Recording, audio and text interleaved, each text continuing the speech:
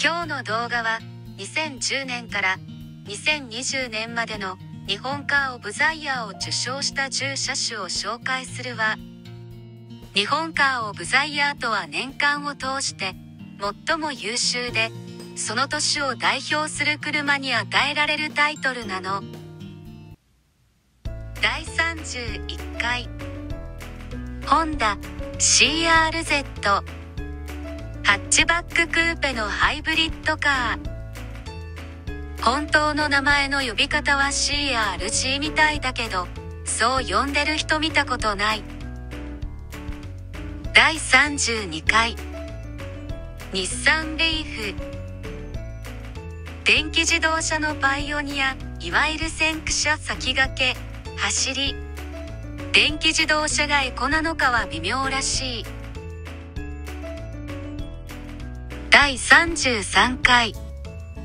マツダ CX5 この辺りからマツダ車のデザインが一気に変わったね。統一感のあるデザインになった。マツダ車の中で一番見かける気がする。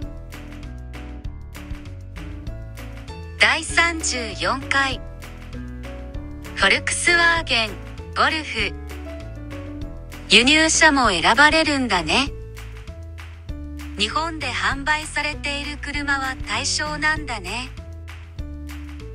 フォルクスワーゲンで一番知名度があるのはこのゴルフじゃないかな。第35回。マツダレミオ。庶民的な車が受賞だね。でもマツダのデザイン良くなってるよね。エンブレムも変えればよかったのに。第36回。マツダロードスター。ロードスターいいよね。マツダを代表する一台だよね。YouTube でロードスターの動画結構見たよ。マツダの受賞多いね。第37回。スバルインプレッサ。スバルの受賞だね。スバルで思いつく車インプレッサかフォレスターくらいかな。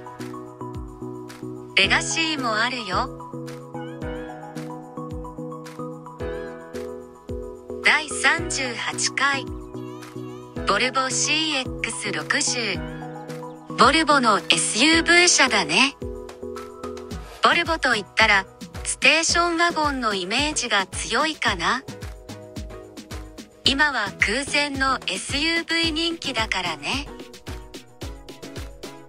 第39回。ボルボ CX40 2年連続でボルボ。しかもまた SUV の受賞。女の子には違いが分かりません。